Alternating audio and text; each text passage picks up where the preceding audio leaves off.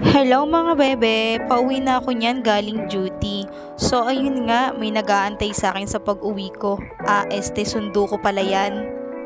Siya nga pala yung isa sa mga aso namin sa bahay. Siya si Chichi.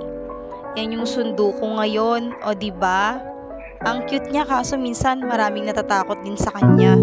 Yung mukha niya kasi mukhang laging mangangagat pero ang totoo niyan, sweet naman yan at malambing na aso sa amin. At sa sobrang lambing at bait nga niyan, halos lahat nga eh, maamo siya.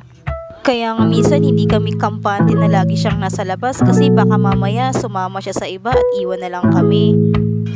Tuwang-tuwa nga siya dito sa labas eh kasi ang lawak ng matatakbuhan niya dito. Buti na lang walang kalabaw Chichi kaya may enjoy natin yung paglalakad dito. Takot kasi si Chichi sa kalabaw. Ganon din naman ako. Eh paano ba namang hindi ka matatakot? Eh biglang nangahapon.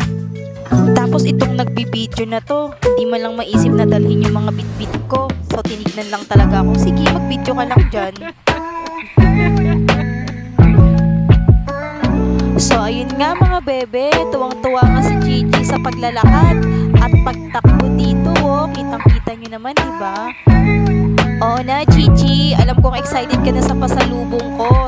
Na, tara na, uuwi na tayo. Malapit na tayo sa bahay.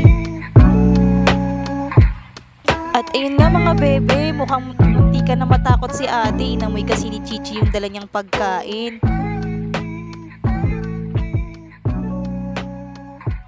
So yun nga mga bebe, niyaya ko na si Chichi na dumiretso na ng uwi sa bahay. Kasi baka saan-saan pa pumunta para matikman na rin niya yung daladala kong pasalubong sa kanya. So ayun lang, bye-bye! A, B, C, D, E, F. G H I love you still